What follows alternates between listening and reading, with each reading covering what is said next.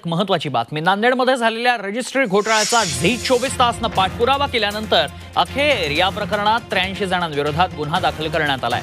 नांदेड येथील मुद्रांक नोंदणी कार्यालयात बोगस कागदपत्र दाखल करून रजिस्ट्री करण्यात आल्या होत्या. जिल्हाधिकारी विपिन इटनकर यांनी नोव्हेंबर आणि डिसेंबर दोन हजार एकवीस दरम्यान झालेल्या रजिस्ट्रीची तपासणी केली असता हा गैरप्रकार उघड झाला होता.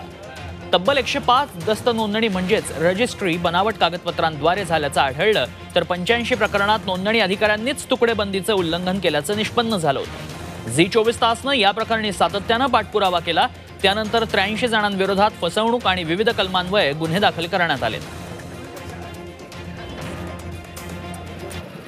बरेचसे खोटे डॉक्युमेंट देऊन कागदपत्र देऊन खरेदी खत करून घेतले. असा त्यांच्यावर चार्ज आहे. याद्वारे त्यांनी शासनाची फसवणूक केली.